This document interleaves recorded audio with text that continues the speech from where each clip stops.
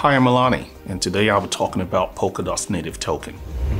The Polkadot token is currently the eighth largest cryptocurrency by market cap at this time of publication. This token provides governance, bonding, and staking functions in the network. The governance function allows DOT holders to exercise control over the Polkadot network.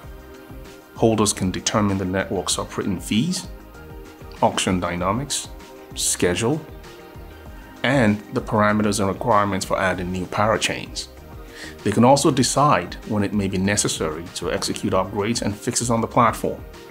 Furthermore, the token plays an active role in securing the network as a proof of stake protocol DOT holders are tasked with the duty of validating transactions across parachains.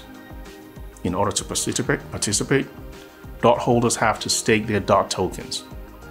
The third role DOT plays in the network is the ability to add new parachains by holding DOT tokens, which is known as bonding. During this period, DOT tokens are unavailable for use and will only be released once the bonding period is over and the parachain is removed.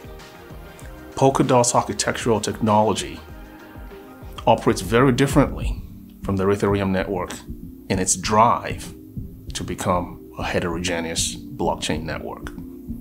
It uses parachains and parathreads, which link to the main Polkadot relay chain.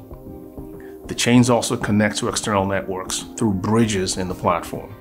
Stay tuned.